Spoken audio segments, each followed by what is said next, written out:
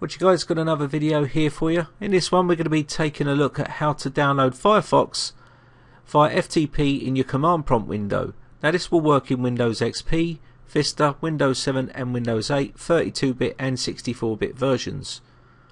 So what we want to do is go down to the start of the All button here and type CMD.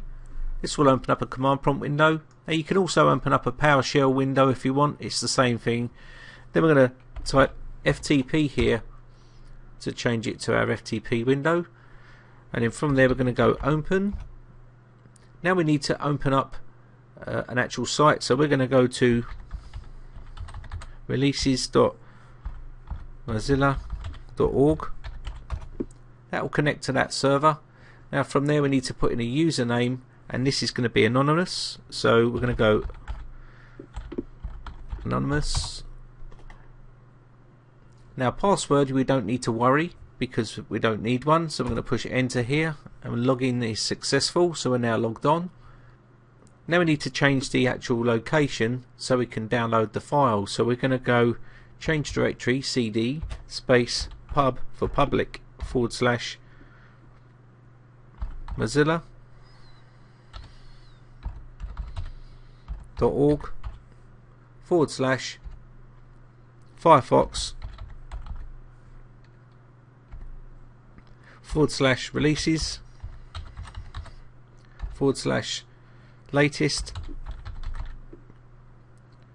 Forward slash and then we want Win32 for for a 32-bit version. And also forward slash we need to go to en dash GB for Great Britain. Now if you want to do your own country i.e.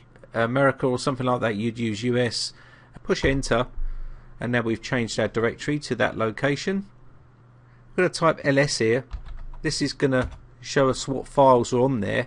And we can see this Firefox setup 15.0.1.exe that's the file we need to download. So the first thing we need to do next is type binary. So I'm going to type binary. That's switching it to binary mode. We also need to typing quote PASV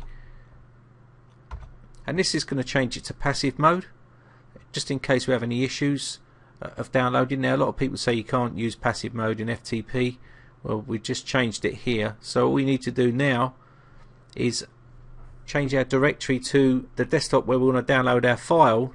Now you may have a bit of trouble putting in your C root directory so I'd advise you to put it on your desktop. So we're going to go LCD desktop. This will put it onto our desktop. Next thing we need to do is type get space and then that little speech mark. And then we need to do Firefox space setup.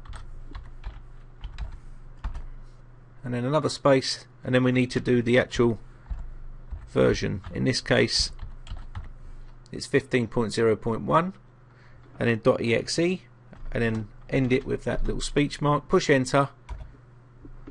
And there you can see it's opening up a connection and it's now downloading that to our desktop. And that's now received the file and that means now we'll be able to install it. And there we have our file just there so we can now install that. Now that'll be useful if you haven't got a browser on the system or the browser's corrupt and uh, you want to be able to download a, a new browser to install uh, or you can do it other ways but this is just another way of doing it as well okay? So I hope that's useful. You can use this method for other things as well. Maybe download other browsers if you've got other FTP sites that you want to use it for and it's just a nice little neat trick to use okay? So I hope you enjoyed it. My name is Brian from briteccomputers.co.uk. if you enjoy these videos please remember guys hit that subscribe button. Also rate and favourite me videos if you enjoy them. If you've got any video requests that you want me to do, then send me a message on YouTube.